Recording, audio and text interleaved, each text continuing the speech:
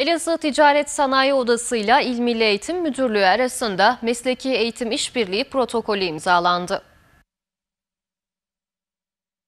ESO ile İl Milli Eğitim İl Müdürlüğü arasında mesleki eğitim işbirliği protokolü çerçevesinde Elazığ Mesleki ve Teknik Anadolu Lisesi yönetim ve öğretmen kadrosunda eksikliklerin tamamlanması ve okulun iş dünyasına talep etmiş olduğu mesleki eğitimleri verebilmesi için ESO Meclis Başkan Vekili ve Eğitim Komisyonu Başkanı Veli Aksu'yla Mesleki Teknik Anadolu Lisesi Okul Müdürü Tarık Tuncay Türkmen tarafından hazırlanan protokol imzalandı.